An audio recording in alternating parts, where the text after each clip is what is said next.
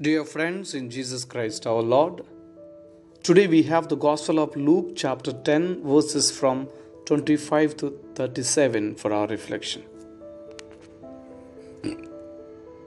We have the Gospel of Luke chapter 10 verses from 25 to 37 today which is the parable of the good samaritan i know you all heard about this parable yet not all have understood its deep meaning the gospel is too precious that we need to know who are who and what to do to fulfill this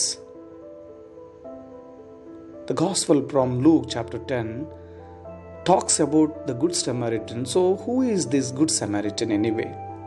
A Good Samaritan is the representation of a good neighbor that is willing to help others.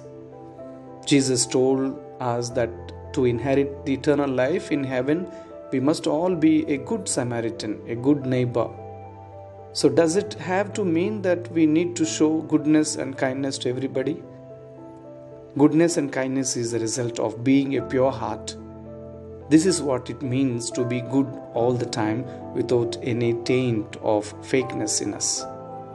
My friends, being good to someone doesn't need publicity. You help even if there is no one watching. You are ready to help your fellow men and women without cameras. You are always available to the aid and service to others because you know that this is what your heart wants. Today's gospel is a reminder that our neighbor don't have to be ad- someone away from our houses or people who are living in our house. It doesn't have to be our nearest friend's house either. To be a good neighbor means you are willing to give help to people that needs your help. These people are those who cannot stand for themselves the needy, the sick, the children, the abundant, the mothers, and many more. This is what it means in the Gospel of Luke today to inherit the kingdom of heaven. Amen.